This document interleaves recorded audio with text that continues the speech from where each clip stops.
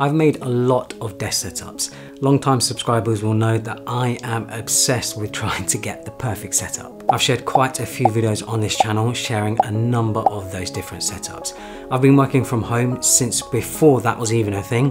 It's been 13 years now that I've had a dedicated desk setup at every home that I've lived in and at every office that I've rented. I've bought and used a ton of different desks, chairs, monitors and all sorts of other desk accessories. I like to think I know which desk upgrades actually matter and what it takes to make a good setup that's both ergonomic and not a waste of money.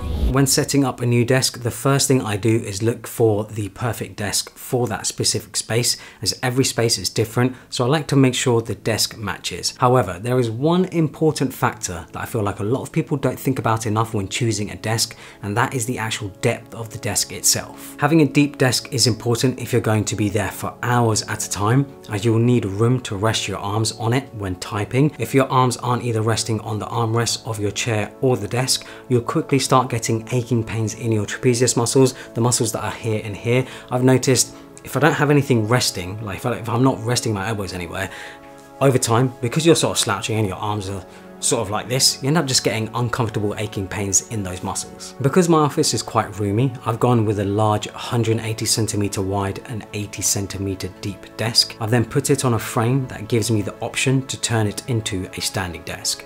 I bought them both separately as I was looking for this specific color combination. With a desk this big, I have room for everything I need within arm's reach. When it comes to desk recommendations, I actually don't think the brand matters that much. Price will simply vary depending on the features and materials all that matters is getting a desk that fits your specific purpose and has standing functionality. But for those wondering, I'll of course leave links to the tabletop and the frame that I'm using down in the description below. The next part of the setup, and probably the most important, is the chair. A lot of people will simply use a chair they already have, like a dining table chair, or buy a chair they feel like they think looks good they haven't actually thought about the ergonomics of the chair itself. A general rule that I like to apply to my life that I've got it from somewhere else but I can't actually remember exactly where is that whatever is separating yourself from the floor I think is worth spending money on. So things like an office chair, a good mattress, a good pair of shoes, these sorts of things are separating you from the hardness of the floor that I feel like it's just worth spending a little bit of money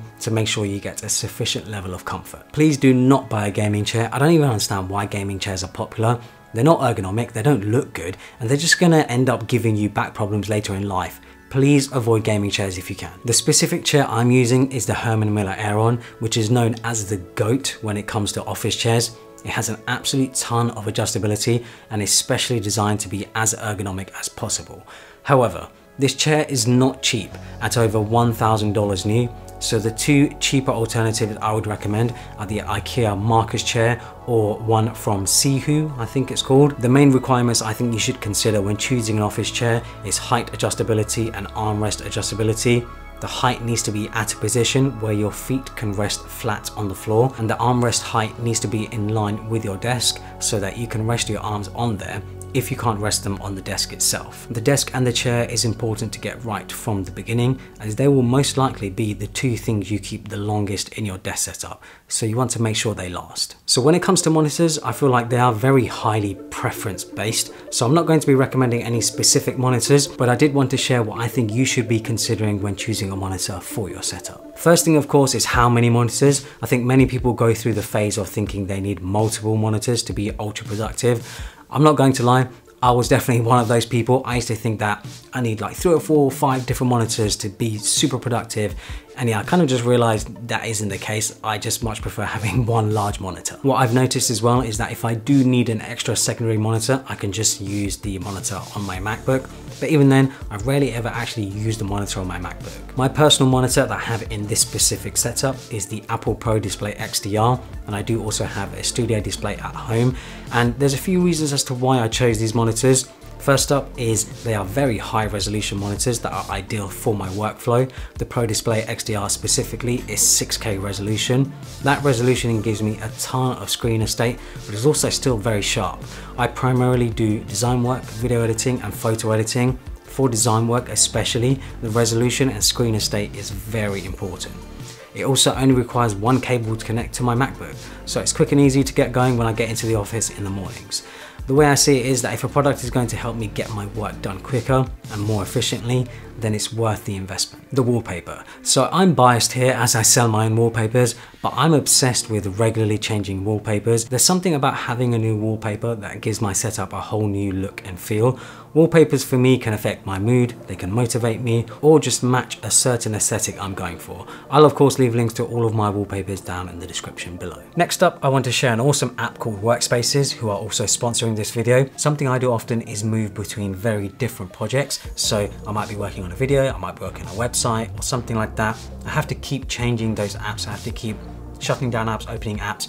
Workspaces helps solve this problem. So for example, when editing a video, I need to open up Notion for the video notes, I need to open up Final Cut Pro for the edit, and I need to open up Finder for the video clips.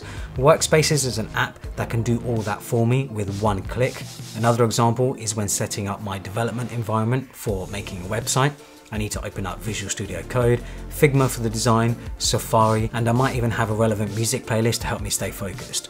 Workspaces makes it super easy to set up different apps, files, folders, emails, and a bunch, bunch more. All you have to do is run a workspace and it opens up everything for you. Then when you're done, it can close it all for you too. You can customize what the actions do, whether you want something to happen immediately, with a delay, or even when you've finished. You also don't have to launch a whole workspace if you want to get to a specific action. Maybe there's something within a workspace that you want to access. You can launch those individually, but still take advantage of workspaces doing the automation.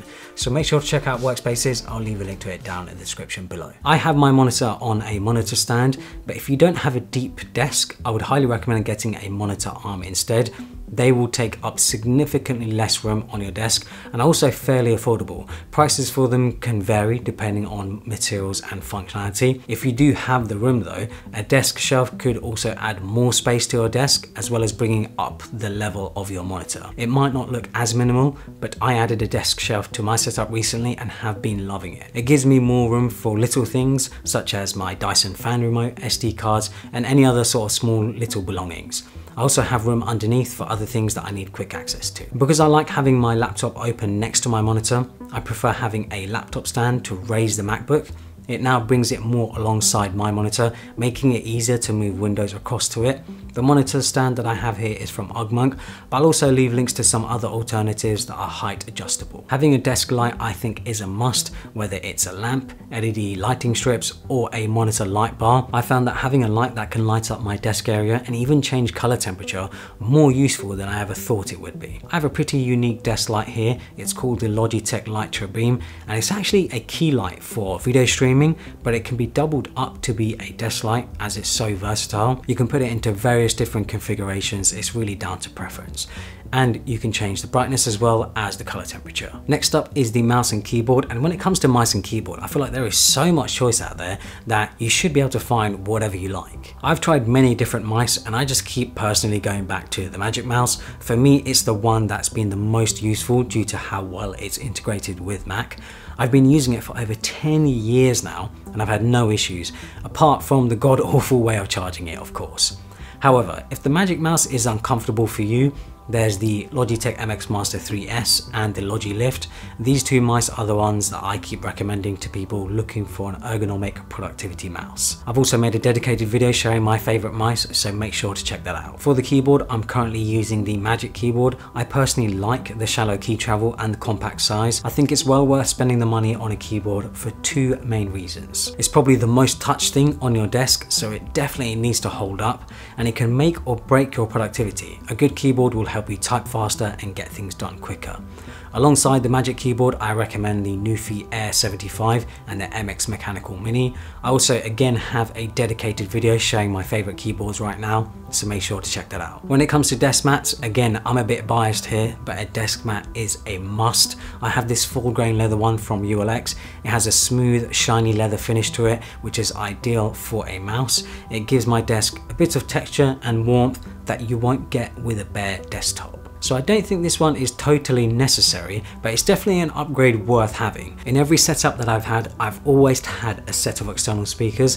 I just much prefer listening to music through speakers, I'd much prefer listening to podcasts through speakers, and of course watching video. There's just something about it for speakers that it's just a lot more convenient than having to mess around with earbuds or headphones. And because I'm usually working alone or maybe with one other person, I'm not really interfering with them or other people around me, so it's just for me makes a lot more sense. The speakers I have are the Bose Companion 50s. I've had these speakers since 2015, which is wild as that is a pretty long time.